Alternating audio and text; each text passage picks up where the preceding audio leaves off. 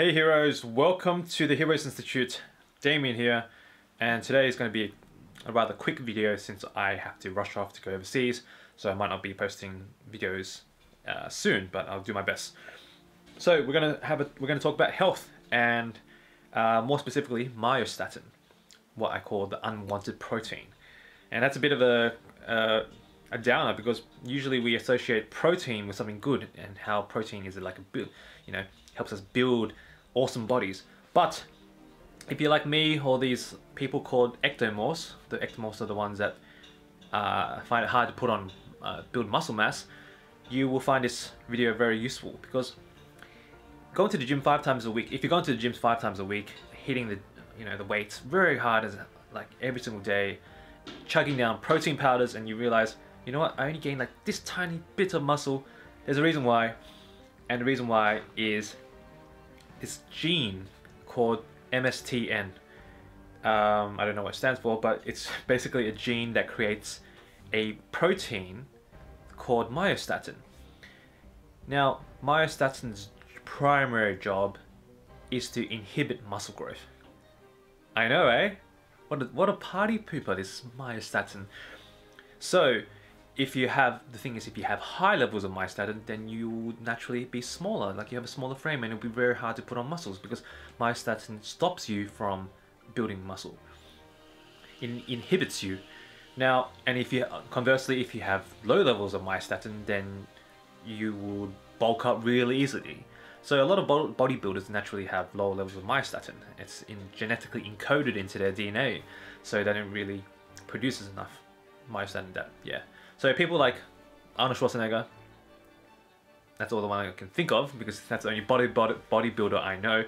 But you know, he naturally has a bigger physique and it's easy for him to put on muscle. And I'm sure you probably met people that are just massively massive and they don't they probably barely go to the gym. They probably go once or twice, but they just seem to put, put on a lot of muscle. So there you have it. You can really you can just, just blame your genes, your genes, okay, that you can't put on muscle. It's not because you're lazy. It's because this this, this myostatin is stopping you from growing and yeah so today's video is about we're going to talk about ways on how to kind of inhibit myostatin or lower the levels of myostatin. It's also interesting to note that scientists have known about this gene for a long time and they they actually uh, they they somehow created um, I don't know what they do use gene splicing and they kind of turned off this gene in animals so if you if you Google Belgian blue cow or, or just type in myostatin animals, you'll see these animals, certain animals that have been that have their genes manipulated uh, to remove myostatin or the MSTN gene factor. They're like huge. Here's one of the cows that I kind of googled. Now, so this is the, the crux of the video. How do we get rid of this pesky protein? That's a really good question. There are, the good thing is there are a few different ways that you can, uh, or strategies you can use to inhibit myostatin. And the first one is quite obvious, exercise. More specifically, high intensity resistance training. So the key words here is intensity and resistance. So lifting very heavy weights and um, making it completely intense making it so intense that you feel like you're going to die has been, or they've done studies where they, uh, people that increase the intensity of exercises, like doing supersets and increasing their weights and reducing the duration uh, between sets, showed an increased, um, well, sorry, increased inhibition of myostatin, and that in turn helps, you know, help you build more muscle. So you know, doing really heavy weights and doing supersets and those kind of things that those type of exercises that make you feel like you're going to die is actually really good for you when it comes to building size. Now, the next one is to support your immune system. And that's that's you know like okay, what what does that have to do with myostatin?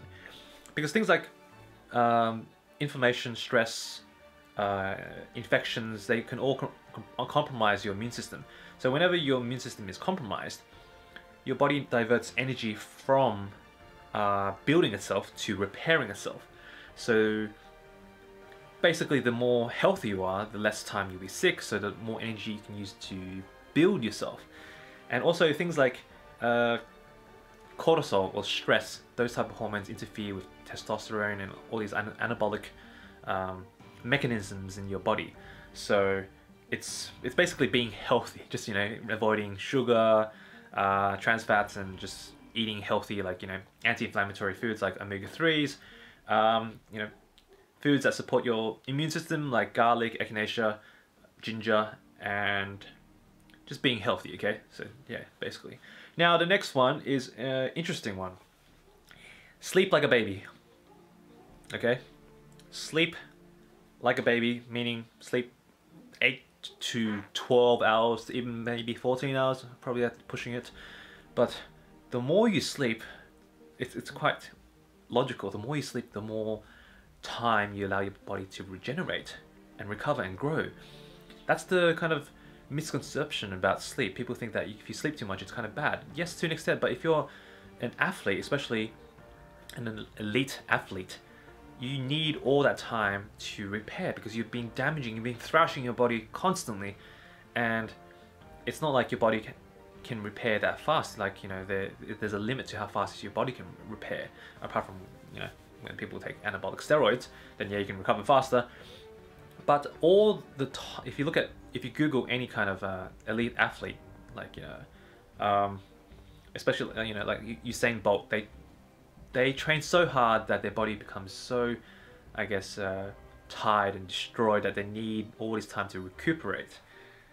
So, and by sleeping more, you allow your you give your body uh, you allow your body to produce more human growth hormone, which is necessary to uh, build more muscle as well. Now, some more interesting ones is this chemical compound called epicatechin. Um, and it's polyphenol that is found in a lot of polyphenol, sorry, um, excuse my accent, that is found in a lot of foods like, especially green tea, which has epigallate, catechin gallate, whatever, epigallocatechin gallate, A- EGCG, you know, and that's one of the most powerful um, polyphenols that um, that have been shown to reduce myostatin levels, and it also increases follistatin, follistatin, which inhibits uh, also further inhibits myostatin. Um, so it's like it does two things at once. It kind of it reduces my level of statins and it also inhibits it from um, it's it's binding it to receptor sites. So uh, from especially on muscle sites where you uh, need it kind of tells the muscle to stop growing. Stop yeah. So epicatechin, those type of foods, anything uh, that has these polyphenols like dark chocolate, green tea, very good for you. Now, next one is fasting. As I mentioned in one of my other videos, fasting is very beneficial. In there's hundreds of benefits. I don't want to go too much into it, but um, it's interesting. They showed there's some studies that showed that fasting actually um, changed the expression of myostatin. So when you fast, you actually get increase in myostatin, which is bad in our case because we don't want myostatin. And but the good thing is when you fast for a certain period of time and then you refeed or restart eating again, the myostatin, your myostatin levels plummet. They just they were they're shown to decrease after refeeding, introducing food back into your system. So you can kind of capitalize on this when when you uh, on the decrease phase of myostatin when it gets inhibited after when you uh, refeed. So in the beginning, when you fast, you know myostatin levels are high, so you can protect the immune system and divert. Uh, so because you don't want to kind of build muscle without any kind of resources, so it makes sense to conserve energy, conserve um, you know body's resources. So and then at the end of it, that's when myostatins are lower. So that's when you want to kind of um, uh, recover. You want to uh, build muscle when myostatin levels are lower. So you kind of time it uh, at the refeed phase. Some some other methods uh, that have been shown to decrease myostatin are testosterone. So testosterone, as we all know, is like the miracle kind of hormone that makes a man a man. You know, muscles, increased muscles, um, confidence. You know, all, all those kind of good things. Kind of think of kind of think of it, the examples of why you know increased bone strength and um, yeah, anyway. So testosterone has been shown to inhibit myostatin because it makes sense because testosterone is an anabolic uh, hormone that is growing. So you don't want something that helps your body to grow. You don't want something to kind of counteract it.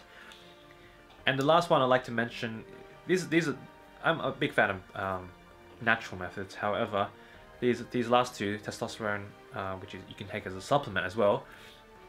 Um, the last, the very last one is dried egg yolk isolate.